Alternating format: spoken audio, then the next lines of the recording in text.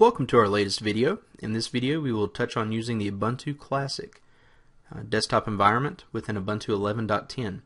You'll notice off the bat that with Ubuntu 11.10 the login screen's been changed. I actually like the way the login screen looks now. Uh, it's kind of spiffy looking. But that's so far about it. I'm not too impressed with Unity in this release. So this will launch a series of videos that will show us how to use other desktop environments, how to install them, uh, within Ubuntu 11.10. So let's go ahead and log in. This will take us to the default Ubuntu, which features Unity. And that's full-blown Unity as well, not just Unity 2D, but that's Unity with the effects behind it. You'll notice we have our Unity panel there. If you click the top button, that will launch the dash. I'm going to go ahead and open Terminal. And we're going to install the classic GNOME panel. We will need to type a couple of commands in here, so we'll zoom in so you can get a better look at those. You can also see the call out. The first command we need to type is sudo space apt dash get space install space gnome dash panel. Hit enter, and you'll be prompted for your password. Go and enter that, hit the enter key, and it'll prompt you to make sure you do want to download those packages. We'll check yes hitting Y and hitting enter. We'll zoom out here. We'll go ahead and skip ahead once that's downloaded and installed. We need to exit the panel. So type exit, hit enter. Now we need to go ahead and click on the power down button. Click on restart to complete updates and check the restart button.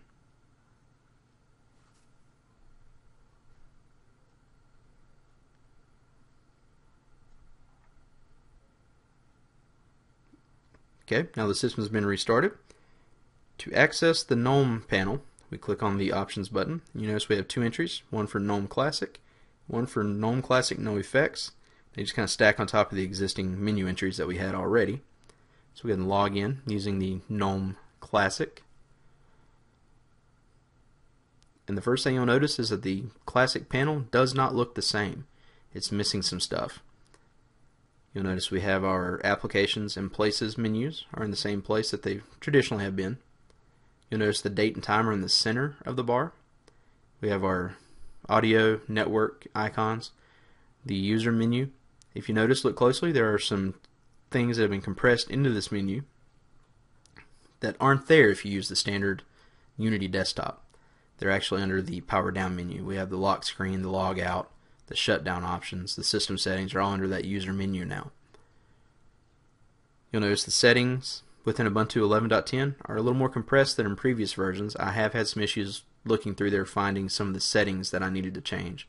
I'm going to log out and try the GNOME Classic No Effects to see if it's riddled with the same problems of things like missing spacers in the GNOME bar, and it is. If you right click on the GNOME bar, you don't have an option to be able to customize that bar. There's no properties for it. Uh, so I'm not sure if this is a glitch or what's going on with it, but I know one thing, I'm not that impressed with it.